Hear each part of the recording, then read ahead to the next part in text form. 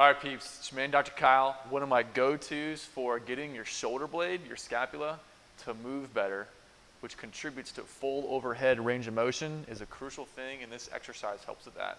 So the first step is to make sure it doesn't hurt when you're doing this, which is why I like to use the ball for this, and it emphasizes your scapula, okay?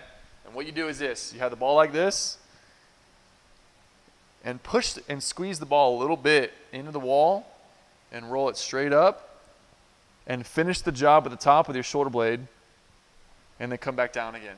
Regroup, squeeze the ball against the wall, roll it up, finish the job with your shoulder blade at the top, come back down. Boom. Boom. So don't stop here. I want you to stop there to finish the complete motion with your scapula. And that helps to promote upward scapular rotation to get full range of motion overhead.